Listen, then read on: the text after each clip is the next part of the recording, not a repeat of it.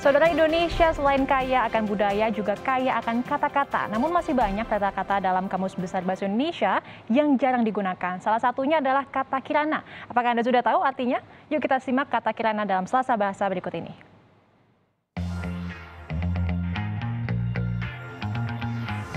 Apakah Anda memiliki hobi ngegombal atau sekadar mengirim puisi kepada orang terkasih? Nah, berarti Anda harus mengenal sejumlah kata-kata di Kamus Besar Bahasa Indonesia yang indah dan bermakna baik, namun sangat jarang digunakan. Salah satunya adalah kirana.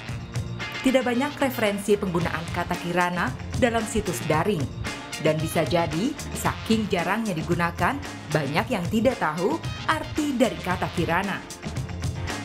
Bagaimana kalau kita coba tanyakan kepada masyarakat? Tahu arti nama Kirana enggak kan sekarang banyak nama orang Kirana ataupun di dalam lirik lagu itu memakai kata Kirana. Kira-kira tahu nggak arti Kirana apa? Bunga mungkin ya. Iya. Uh, kata-katanya di liriknya Kirana. Kira-kira arti kata Kirana tahu nggak apa? Cahaya kali kok. Cahaya. Iya. Kira-kira Mbak tahu nggak arti Kirana itu apa? Uh, cahaya. Cahaya. Iya. Oke. Okay. Ya, Meski mereka tidak bisa mewakili seluruh masyarakat Indonesia, namun kata kirana memang sulit untuk dicari artinya karena jarang digunakan. Untuk itu, mari kita cari tahu arti kata kirana dari penyelaras bahasa Kompas TV.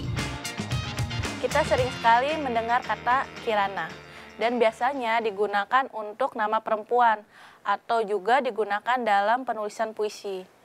Di KBBI, Kata kirana masuk kategori kata arkais yang tidak lazim digunakan dalam keseharian. Arti kata ini sebenarnya adalah sinar, molek, dan cantik. Meski memiliki makna yang baik, kata kirana jarang digunakan dalam kalimat komunikasi sehari-hari. Dalam Kamus Besar Bahasa Indonesia pun, arti dari kirana dapat masuk ke dalam jenis kiasan sehingga penggunaan kirana bisa saja bukan dalam arti yang sebenarnya. Dengan mengenal banyak kata, Anda bisa menggunakannya untuk merangkai puisi agar terlihat puitis dan estetik. Atau bisa juga Anda menggunakannya untuk percakapan sehari-hari.